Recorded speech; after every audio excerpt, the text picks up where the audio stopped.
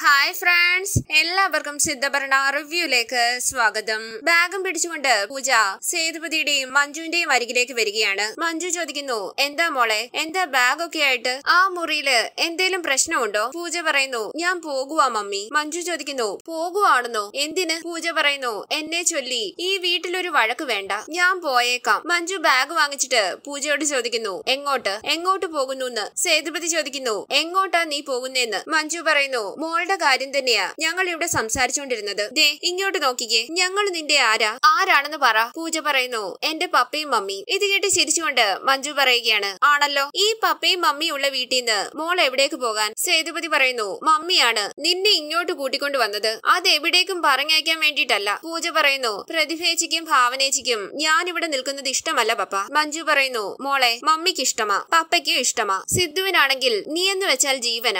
അതുപോലെ പൂജ പറയുന്നു എന്നാലും മമ്മി ഞാൻ കാരണം ഈ വീട്ടിലൊരു വഴക്കുണ്ടാകുമ്പോൾ സേതുപതി പറയുന്നു നീ കാരണമല്ല വഴക്കുണ്ടായത്. വഴക്കിടുന്നവരുടെ മനസ്സിലെ കുശുമ്പ് കാരണമാ. അത് ഒരുതരം അസുഖമാ. അതൊക്കെ നമുക്ക് ചികിത്സിച്ചു മാറ്റാം. മഞ്ജു പറയുന്നു നോക്ക് മോളെ നിന്നെ എങ്ങനെയും ഇവിടുന്ന് പുറത്താക്കാനാ ഭാവന നോക്കുന്നത്. മോൾ ഇവിടുന്ന് ബാഗും എടുത്ത് ഇറങ്ങിയാൽ അവർ ജയിക്കില്ലേ? അപ്പോ തോക്കുന്നതാരാ? തോക്കുന്നതേ ഈ പപ്പയും മമ്മിയും അല്ലേ? ഞങ്ങളെ തോൽപ്പിക്കണോ? വേണോ മോളെ? പൂജ പറയുന്നു വേണ്ട. ഇത് കേട്ട് സേതുപതി പറയുകയാണ് നീ ആദ്യം ബാഗ് കൊണ്ടുപോയി മുറിയിൽ വെക്ക്. പൂജ പറയുന്നു ഞാനൊരു കാര്യം പറഞ്ഞാൽ എന്നെ വഴക്കു പറയുമോ പപ്പ? സേതുപതി പറയുന്നു പറ പൂജ പറയുന്നു ഞാൻ ഈ വീട്ടിലെ ജോലിയെല്ലാം ചെയ്തോളാം. ആഹാരം ഉണ്ടാക്കാനും പുറം ജോലികളും എല്ലാം എനിക്കറിയാം. ഒരു പരാതിയും പറയില്ല. അപ്പോ ഭാവനേച്ചി വഴക്കുണ്ടാക്കില്ലല്ലോ? ഇത് കേട്ട് ചിരിച്ചുകൊണ്ട് സേതുപതി പറയുന്നു അപ്പൊ താര ചെയ്തിരുന്ന എല്ലാ ജോലിയും നീ ചെയ്യും അല്ലേ? പൂജയെ ചേർത്ത് പിടിച്ചുകൊണ്ട് മഞ്ജു പറയുന്നു ഞാൻ ഇവളെ ഒരു വീട്ടുജോലിക്കും വിടുന്നില്ല. മോൾ പപ്പയുടെയും മമ്മിയുടെയും കുട്ടിയായിട്ട് സന്തോഷത്തോടെ ജീവിക്കണം തുടർന്ന് പഠിക്കണം നല്ല നിലയിലെത്തണം നന്നായിട്ട് ജീവിക്കണം. മോളുടെ അച്ഛന്റെ അമ്മയുടെ ആത്മാവ്. അത് കണ്ട് സന്തോഷിക്കണ്ടേ? വേണ്ടേ? അങ്ങനെ മഞ്ജു പൂജയുടെ നെറുകയിൽ ചുംബിക്കുകയാണ്. ഇത് കണ്ട് സന്തോഷത്തോടു കൂടി സേതുപതി പറയുന്നു ചെല്ല്. മഞ്ജു പൂജയും കൂട്ടിക്കൊണ്ട് അവിടെ നിന്ന് പോകുന്നു. സേതുപതി ആലോചിച്ചു നിൽക്കുന്നു. പിന്നീട് കാണിക്കുന്നത് പ്രതിഭ ഭാവനയോട് ചോദിക്കുന്നു ഇങ്ങനെ എല്ലാവരും കൊഞ്ചിക്കാൻ ആ പൂജ ആരാ ചേച്ചി? ഭാവന പറയുന്നു അത് നമുക്ക് കണ്ടുപിടിക്കാം. വലിയ പാരമ്പര്യവും മഹത്വവും ഒക്കെ പറയുന്ന വലിയ വീടുകളിലൊക്കെ കാണും. പുറത്തറിയാൻ വയ്യാത്ത ചില അണിയറ കഥകൾ. അങ്ങനെ എന്തെങ്കിലും കഥയുടെ ബാക്കിയാണ് ഈ പെണ്ണെങ്കിൽ. സൊനാലി തറവാടിന്റെ സോഷ്യൽ സ്റ്റാറ്റസ് വലിച്ചു കീറി ഫിത്തിയിലൊട്ടിക്കും ഞാൻ. പ്രതിഭ പറയുന്നു ഇവളെ എങ്ങനെ ഇവിടുന്ന് പുറത്താക്കുമെന്നാ ഞാൻ ആലോചിക്കുന്നത്. ഭാവന പറയുന്നു അവളുടെ മനസമാധാനം പോണം. അവൾ അങ്ങനെ ഇട്ടിട്ട് പോണം. ഇവളുടെ തള്ള ഒരിക്കൽ ഇട്ടിട്ട് പോയതാ. അതുപോലെ ഇവളും പോകും. അല്ലെങ്കിലേ ഞാൻ പറഞ്ഞു വിടും. ഈ സമയത്ത് താഴെ നിന്ന് ഉറക്കെ സുജാത വിളിക്കുന്നു ഭാവനയെന്ന് വിളി കേട്ടിട്ട് ഭാവന പ്രതിഭയോട് പറയുന്നു ഇവർ കുടുംബക്ഷേത്രത്തിൽ പോവാണെന്ന് പറഞ്ഞ് ഇറങ്ങിയിട്ടെ. ആ പെണ്ണുപിള്ള വന്നിട്ടൊന്നും പറഞ്ഞില്ലല്ലോടി. സാധാരണ പപ്പയും മമ്മിയും ഈ പെണ്ണുപിള്ളയെ കെട്ടി എഴുന്നള്ളിച്ചോണ്ട് പോയാലേ എന്തേലും ഒരു കുരുക്കൊപ്പിക്കാനായിരിക്കും ഒന്നുകിൽ കല്യാണ തീയതി ഉറപ്പിക്കൽ അല്ലെങ്കിൽ പ്രതിഭ പറയുന്നു എന്തോ പൂജയുടെയോ ഹോമത്തിന്റെയോ കാര്യമൊക്കെ അവിടെ നടത്തുമെന്ന് പറയുന്നുണ്ടായിരുന്നു. പക്ഷേ ഇവർ നമ്മളോടൊന്നും പറയാത്തതെന്താ? ഭാവന ചോദിക്കുന്നു. നമ്മളോട് പറയുമോടി എല്ലാം രഹസ്യമല്ലേ? പ്രതിഭ പറയുന്നു. ജോഴ്സിനെ എന്തോ കാണാൻ പോയതാണെന്നാ എനിക്ക് തോന്നുന്നത്. താരയോട് സുജാത കുഞ്ഞമ്മ പറയുന്നത് പോലെ തോന്നി. വീണ്ടും സുജാത ഉറക്ക ഭാവനയെന്ന് വിളിക്കുന്നു. ഭാവന പറയുന്നു ദേ വരുന്നുണ്ടടി സുജാത ന്യൂസ് ചാനൽ. സുജാത അവിടേക്ക് വന്നിട്ട് പറയുന്നു അതെ ഡിന്നർ സ്പെഷ്യൽ ഊട്ടാനേ ഇവിടെ പണിക്കാരൊന്നുമില്ല. ഉണ്ടായിരുന്ന താരെ രണ്ടുപേരും കൂടി അങ്ങോട്ട് പറഞ്ഞു വിട്ടില്ലേ? കഷ്ടപ്പെട്ട് ഞാൻ ചപ്പാത്തിയും ഫിഷ് കറിയും ഉണ്ടാക്കി വെച്ചിട്ടുണ്ട്. അത് രണ്ടുപേരും കൂടി കഴിച്ചിട്ട് മാറിയാലേ എനിക്ക് ആ പാത്രമൊക്കെ കഴുകി വെച്ചിട്ട് കിച്ചൺ അങ്ങ് അടയ്ക്കാമായിരുന്നു. ഹോ ഒന്ന് ഉറങ്ങിയിട്ട് രണ്ടു ദിവസമായി. വഴിപാടും പൂജയും നെട്ടോട്ട് ഓടുകയായിരുന്നു. ഭാവന ചോദിക്കുന്നു എന്നത്തേക്കാ തീയതി ഉറപ്പിച്ചേക്കുന്നത്? സുജാത പറയുന്നു തീയതിയും മുഹൂർത്തവും ഒക്കെ ഉറപ്പിച്ചിട്ടുണ്ട്. ഇനിയെ കൽത്തോട്ടത്തിൽക്കാരുടെ അഭിപ്രായം കൂടി അറിഞ്ഞാൽ പപ്പയും മമ്മിയും കൂടി അറിയിക്കേണ്ടവരെ ഒക്കെ അറിയിച്ചോളും. പ്രതിഭ പറയുന്നു അറിയിക്കേണ്ടവരെ അറിയിക്കും. ആ ലിസ്റ്റിൽ ഞങ്ങളൊക്കെ ഉണ്ടോ? സുജാത പറയുന്നു അറിയിക്കേണ്ട കാര്യങ്ങൾ അറിയിക്കേണ്ട സമയത്ത് അറിയിക്കും. ആ കണിയാരെ കണ്ടപ്പോൾ പറഞ്ഞത് എന്താണെന്ന് അറിയാമോ അപർണ മോളുടെയും സിദ്ധുമോന്റെയും ജാതക ചേർച്ചയെ പത്തിൽ പത്തെന്നല്ല അതുക്കും മേലെയാ. ഭാവന പറയുന്നു ആ അങ്ങനെ പത്തിൽ പത്ത് പറഞ്ഞവരൊക്കെ കോടതി വരാന്തയിൽ നിരങ്ങുന്നതും കണ്ടിട്ടുണ്ട്. സുജാത പറയുന്നു എടി കൊച്ചേ അതൊക്കെ അതുങ്ങളുടെ കയ്യിലിരിപ്പുണ്ട ഈ മുന്നൂന്റെയും സിദ്ധുവിന്റെയും ജാതക പൊരുത്തം കണ്ടപ്പോഴേ കണിയാരത് അപ്പോഴേ മടക്കി. വേണ്ടാന്ന് വെച്ചാൽ വേണ്ട. പക്ഷേ മുടങ്ങാനുള്ളത് മുടങ്ങി. അത് ദൈവം മുടക്കിയതാ. അതെന്റെ സിദ്ധുമോന്റെ ദൈവാധീനമാണേ. ഭാവന പറയുന്നു ദൈവാനുഗ്രഹമേ അവനല്ല ഇവക്ക. ഈ സിദ്ധുവിന്റെ കൂടെയെങ്ങാനും ജീവിക്കേണ്ടി വന്നിരുന്നെങ്കിലേ വെല്ലവളുമാരുടെയും കൊച്ചിനെ ഇപ്പം ഇവൾ വളർത്തേണ്ടി വന്നേനെ. അങ്ങനെ പോകാൻ തുടങ്ങുന്ന ഭാവനയോട് സുജാത പറയുന്നു എടി കൊച്ചി ഇങ്ങി വന്നേ. എടി മോളെ നീ ഇപ്പൊ പറഞ്ഞില്ലായോ? ഇതുപോലെ തന്നെ സിദ്ധുമോന്റെ മുമ്പിൽ പോയി പറയണം കേട്ടോ. അതോടെ തന്നെ ഈ കുടുംബത്തിലെ നിന്റെ വഴിപാട് റെസിപ്റ്റ് അങ്ങ് തീരും. ഭാവന പറയുന്നു. നിങ്ങളുടെ വഴിപാട് കൊണ്ടൊന്നും തീരുന്നതല്ല. എന്റെയും ശിവയുടെയും ജീവിതം. കേട്ടല്ലോ? സുജാത പറയുന്നു നിന്റെ ശിവേട്ടനുമായിട്ടുള്ള കല്യാണത്തിനെ ഞാനും കൂടെ പോയാ പൊരുത്തം നോക്കിയത്. ആ ജാതകവും കണിയാർ അപ്പ തന്നെ അങ്ങ് മടക്കി. സ്വയം നശിക്കുമെന്നും ചെന്ന് കയറുന്നിടം നശിപ്പിക്കുമെന്നും വേണ്ടാന്നും പറഞ്ഞു. പപ്പയും മമ്മിയും നിർബന്ധിച്ചിട്ടാ അതാ ഇവിടെയുള്ളവർ അനുഭവിക്കുന്നത്. അങ്ങനെ സുജാത അവിടെ നിന്ന് പോകുന്നു. ഭാവന പ്രതിഭയോട് പറയുന്നു ഓ ഈ പെണ്ണുമ്പിള്ള എടുത്ത് കിണറ്റിലിടുകയാ വേണ്ടത്. നാശം വന്നോളൂ ഓരോന്ന് പറഞ്ഞോണ്ട്. പിന്നീട് കാണിക്കുന്നത് സൊനാലിയിലെ വണ്ടി കൽത്തോട്ടത്തിലേക്ക് വരികയാണ്. ഇത് ജനലിലൂടെ കാണുന്ന പ്രഭ ശരത്തിനോട് പറയുന്നു എടാ നോക്കിയേ സൊനാലിയിലെ വണ്ടി. എടാ എല്ലാവരും ഉണ്ടടാ. കാറിൽ നിന്നും സിദ്ധുവും പ്രതിഭയും മഞ്ജുവും ഇറങ്ങുന്നു. പ്രതിഭയെ കണ്ട് പ്രഭ പറയുന്നു ദേ പ്രതിഭ പ്രതിഭയുണ്ട്. ശരത്ത് സന്തോഷത്തോടു കൂടി ചോദിക്കുന്നു അവളും ഉണ്ടോ? പ്രഭ പറയുന്നു ഈശ്വര എല്ലാവരും കൂടി വന്ന് കല്യാണം മുടക്കാനാണോ ആവോ? ശരത്ത് പറയുന്നു ഏയ് മുടക്കാനൊന്നും അല്ല അവളും കൂടെ വന്നിട്ടുണ്ട്. നടത്താനായിരിക്കും. ദേ വരുന്നു. വാ വാ എന്ന് പറഞ്ഞ് പ്രഭ ഉമ്മറത്തേക്ക് ചെല്ലുന്നു. പിന്നാലെ ശരത്തും ചെല്ലുന്നു. പ്രഭ അവരോട് പറയുന്നു അയ്യോ ഒന്ന് വിളിച്ചു പറഞ്ഞില്ലല്ലോ. വരുന്ന കാര്യം മഞ്ജു പറയുന്നു. ഞാൻ ആമിയെ വിളിച്ചു. ഫോൺ എടുക്കുന്നേ ഇല്ല. പ്രഭ പറയുന്നു ആമി വെളുപ്പിനെ പോയതാ. കണിയാരെ കാണണമെന്ന് പറഞ്ഞ്. വാ കേറി വാ. മോളെ വാ വാ. അങ്ങനെ എല്ലാവരെയും കൂട്ടിക്കൊണ്ട്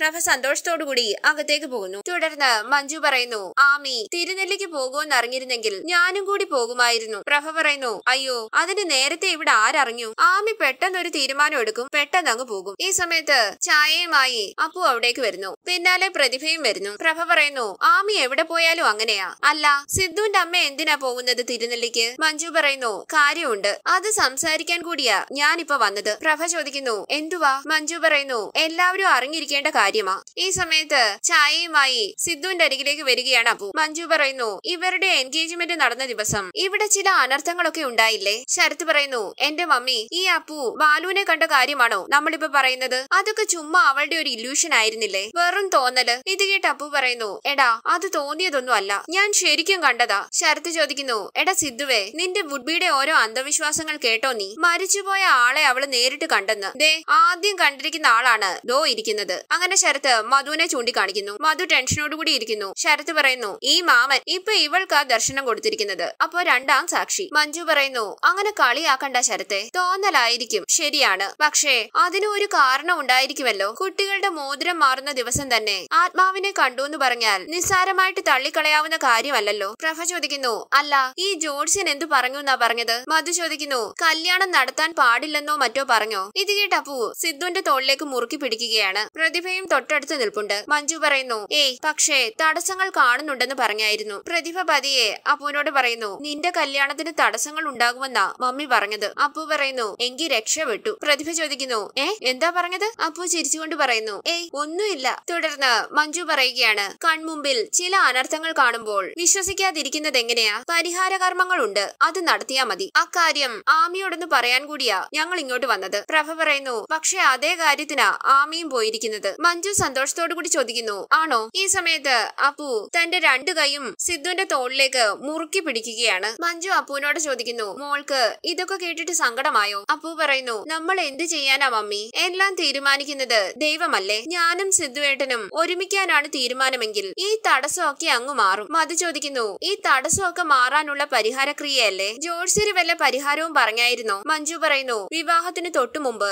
ചെറുക്കനെയും പെണ്ണിനെയും ഒരുമിച്ചിരുത്തി പൂജയും ഹോമവും നടത്തണം. ചെറുക്കന്റെയും പെണ്ണിന്റെയും കുടുംബക്ഷേത്രത്തിൽ തന്നെ പൂജ നടത്തണം. അതിൽ പ്രധാനമായിട്ടും അപർണയുടെ കുടുംബക്ഷേത്രത്തിൽ തന്നെ പൂജയും ഹോമവും നടത്തണമെന്നാണ്. പെണ്ണിനെയും ചെറുക്കനെയും കൂടി നടയിലിരുത്തി വേണം പൂജ നടത്താൻ. കാരണം ആത്മാക്കൾ പ്രസാദിക്കണമെങ്കിൽ അത് വേണമെന്ന ജോത്സ്യര് പറഞ്ഞത്. അതൊക്കെ എത്രയും പെട്ടെന്ന് നടത്തണം. പിന്നെ വരുന്ന ഏകാദശിക്ക് മുമ്പ് വിവാഹവും നടത്തണം. ഇത് കേട്ട് ദേഷ്യത്തോടുകൂടി അപ്പു സിദ്ധുവിന്റെ തോളിലേക്ക് മുറുകി പിടിക്കുകയാണ്. സിദ്ധു വേദനയോടുകൂടി ഇരിക്കുന്നു. പ്രഭ പറയുന്നു അയ്യോ വരുന്ന ഏകാദശി എന്ന് പറഞ്ഞാൽ ഒന്നര മാസം കൂടി ഉള്ളൂ ഇനി. മഞ്ജു പറയുന്നു അതെ അതിനു മുമ്പ് നടന്നില്ലെങ്കിൽ പിന്നെ ഈ വിവാഹം മൂന്ന് വർഷങ്ങൾക്ക് ശേഷമേ നടക്കുകയുള്ളൂ എന്നാ കണിയാര് പറഞ്ഞത്. മധു പറയുന്നു അങ്ങനെയാണെങ്കിൽ പിന്നെ ആമിയും കൂടി വന്നിട്ടെ നമുക്ക് നാളെ തന്നെ ഒരു തീരുമാനം ഉണ്ടാക്കാം. ഒരു തീയതി അങ്ങ് ഉറപ്പിക്കാം. അല്ലേ പ്രഭേ? പ്രഭ പറയുന്നു അല്ലെങ്കിലും ഇതൊന്നും വെച്ച് താമസിപ്പിക്കാതിരിക്കുന്നതാ നല്ലത്. ദേ ചായ ആറിപ്പോകുന്നു. കുടിക്ക്. മരുമോൾ ഇട്ടതാ. മഞ്ജു ചിരിച്ചുകൊണ്ട് അപ്പൂനെ നോക്കുന്നു. അപ്പൂൻ ചിരിക്കുന്നു. പ്രഭ പറയുന്നു പിള്ളേർക്ക് എന്തായാലും വലിയ സന്തോഷമാകും. സിദ്ധു ചിരിച്ചുകൊണ്ട് അതേ എന്ന് മൂളുന്നു. ഈ സമയത്ത് സിദ്ധുവിന്റെ ഫോണിലേക്ക് ഒരു കോൾ വരുന്നു. തോളും തടവിക്കൊണ്ട് സിദ്ധു പറയുന്നു ഹലോ ഒരു സെക്കൻഡേ. അങ്ങനെ സിദ്ധു ഫോണുമായി അവിടെ നിന്ന് പോകുന്നു. പ്രഭ പറയുന്നു അയ്യോ അവന് നാണം വന്നെന്ന് തോന്നുന്നു. പോകുന്നത് കണ്ടോ? പ്രഭ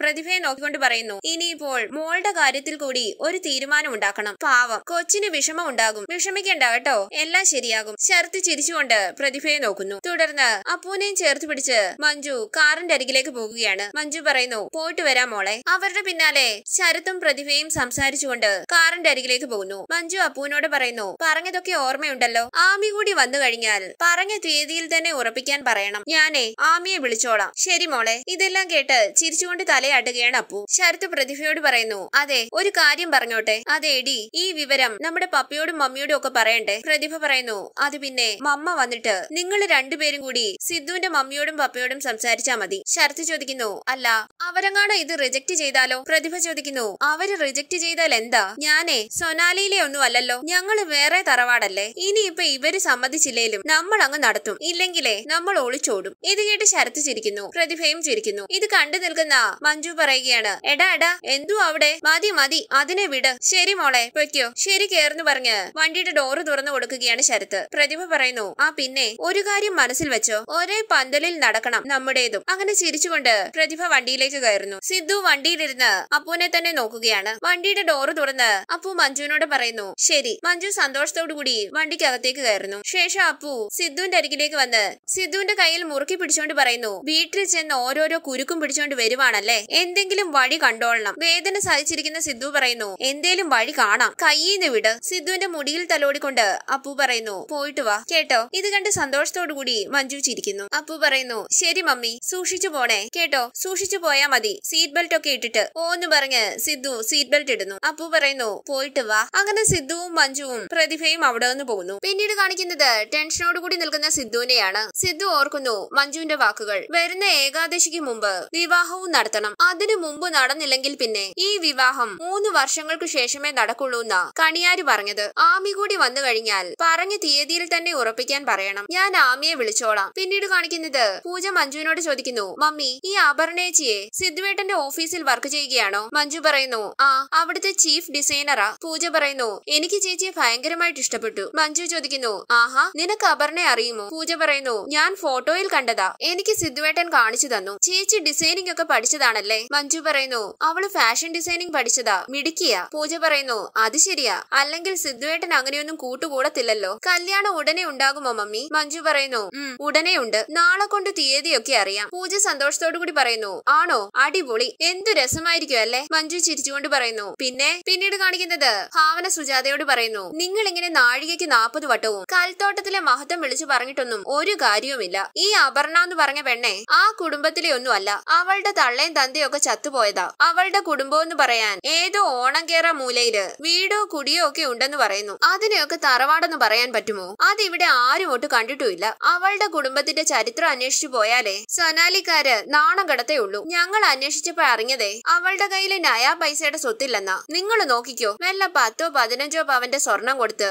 കൽത്തോട്ടത്തിൽക്കാര് കൈ അങ്ങ് ഒഴിഞ്ഞോളും. ഇതൊക്കെയാ കൽത്തോട്ടത്തിൽക്കാരുടെ മഹത്വം. സുജാത പറയുന്നു അതിനെ നീ അസൂയപ്പെട്ടിട്ട് ഒരു കാര്യവും ഇല്ലടി. നീ അവരുടെ കുടുംബചരിത്രം അന്വേഷിക്കുകയും വേണ്ട. പപ്പ പറഞ്ഞിരിക്കുന്നതേ കൽത്തോട്ടത്തിലെ ബിസിനസ്സും സൊനാലിയിലെ ബിസിനസ്സും ഒരു കുടക്കീഴിൽ കൊണ്ടുവരുമെന്ന. ഇത് കേട്ട് ചിരിച്ചുകൊണ്ട് ഭാവന പറയുന്നു കുടയും പിടിച്ചിരുന്നോ? ഞാനും ശിവയും സമ്മതിച്ചിട്ട് വേണ്ടേ അത്? പക്ഷേ ഞങ്ങൾ ഒരു കാര്യം പ്ലാൻ ചെയ്തിട്ടുണ്ട്. ഇതേ കൽത്തോട്ടത്തിൽ നിന്ന് നല്ലൊരു ചെക്കനെ ഞങ്ങളുടെ മുന്നൂനും കണ്ടുവച്ചിട്ടുണ്ട്. ദേ കൽത്തോട്ടത്തിൽക്കാരിയല്ലാത്ത നിങ്ങളുടെ മരുമോളെ അതിൽ ഇടപെടാതിരുന്നാൽ മാത്രം മതി. കേട്ടല്ലോ? അങ്ങനെ ഭാവന അവിടെ നിന്ന് പോകുന്നു സുജാത മനസ്സിൽ പറയുന്നു കൽത്തോട്ടത്തിലെ ഏത് ചെറുക്കനെ കണ്ടുവച്ചു എന്ന് ശരത്തിനെ ആയിരിക്കും. നടന്നത് തന്നെ. അതിന് ഇവൾ കൊട പിടിക്കണ്ട പിന്നീട് കാണിക്കുന്നത് സിദ്ധു ടെൻഷനോട് കൂടി പറയുന്നു ഷേ ഈ ഫയലൊക്കെ എവിടെ കൊണ്ട വെച്ചേക്കുവാ? അങ്ങനെ റൂമിലൊക്കെ ഫയൽ നോക്കിയിട്ട് സിദ്ധു ഉറക്കെ മമ്മി എന്ന് വിളിക്കുന്നു. സിദ്ധു പറയുന്നു ഒരു സാധനം വെച്ചാൽ വെച്ച സ്ഥലത്ത് കാണത്തില്ല. ഇതാരാ ഈ മുറിയിൽ കയറിയത്? ഇതെല്ലാം ഡിസോർഡർ ആയല്ലോ. അങ്ങനെ സിദ്ധു വീണ്ടും ഉറക്കെ മമ്മി എന്ന് വിളിക്കുന്നു. തുടർന്ന് കോഫി ഉണ്ടാക്കിക്കൊണ്ടിരിക്കുന്ന മഞ്ജു പറയുന്നു സിദ്ധുവിനെ ബ്രൂ കോഫിയാ ഏറ്റവും ഇഷ്ടം. അതും നല്ല കടുപ്പത്തിൽ വേണം അവന്. നല്ല ചൂടോടെ വേണം കോഫി പൊടി ഇടാൻ. ഇതൊക്കെ കണ്ടു പഠിച്ചോ മോൾ? പൂജ ചിരിച്ചുകൊണ്ട് പറയുന്നു വാശിക്കാരനാ. മോൾ ഇതൊന്ന് കഴുകിയെടുക്കുന്നു പറഞ്ഞ് മഞ്ജു കപ്പ് പൂജയുടെ കയ്യിലേക്ക് കൊടുക്കുന്നു. സിദ്ധു ഉറക്കെ മമ്മിന്ന് വിളിക്കുന്നു. മഞ്ജു പറയുന്നു വിളി വന്നു തുടങ്ങി. അവനെ പറഞ്ഞ ടൈമിൽ തന്നെ കിട്ടണം കോഫി. മോൾ ഇതൊക്കെ കണ്ടു പഠിച്ചു വെച്ചോ? മമ്മി ഇല്ലെങ്കിലും ചേട്ടൻ ഇതൊക്കെ ഇട്ടു കൊടുക്കണ്ടേ മോൾക്ക്? പൂജ പറയുന്നു ഞാൻ എന്തിനാ ഇടുന്നത്? ഇനിയിപ്പൊ ഇവിടെ വേറെ ആൾ വരുന്നുണ്ടല്ലോ. മഞ്ജു ചിരിച്ചുകൊണ്ട് പറയുന്നു ഓ അത് ശരിയാ. എന്നാലും പഠിച്ചു വെച്ചോ. മഞ്ജു പറയുന്നു മമ്മി ഇത് കൊണ്ടുപോയി കൊടുക്കട്ടെ. അങ്ങനെ മഞ്ജു കോഫിയുമായി സിദ്ധുവിന്റെ റൂമിലേക്ക് പോകുന്നു. ഈ സമയത്തെല്ലാം ദേഷ്യത്തോടു കൂടി ഉറക്കെ മമ്മിന്ന് വിളിച്ചുകൊണ്ടിരിക്കുകയാണ് സിദ്ധു. അങ്ങനെ ഇന്നത്തെ എപ്പിസോഡ് എപ്പിസോഡ് അവസാനിച്ചു. Thank for watching please subscribe like share my channel